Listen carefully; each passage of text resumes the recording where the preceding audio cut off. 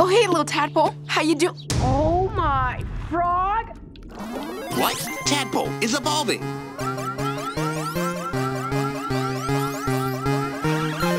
Congratulations! Tadpole evolved into Tadpole with legs.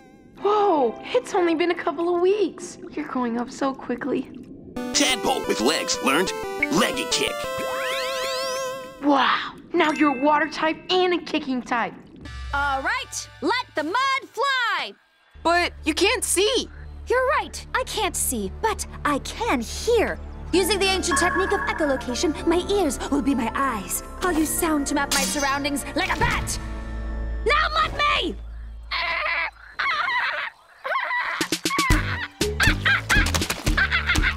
It's working! It's actually working!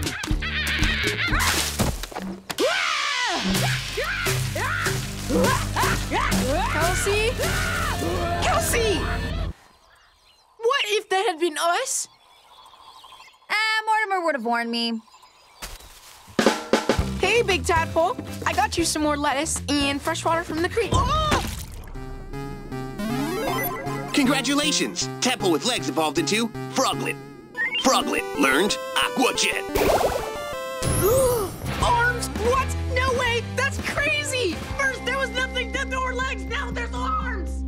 Wow, you should put some dumbbells in there. I bet by the time me and Grandma come to visit again, he'll be a full-grown frog, ready to graduate to froggy fifth grade, just like you.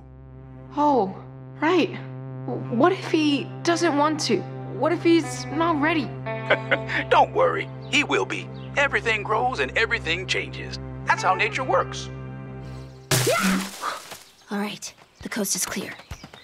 Hey, do you guys ever think about what you'll be like when you're older? Well, I'll definitely be much taller, which means I'll be able to leap further and have a longer reach.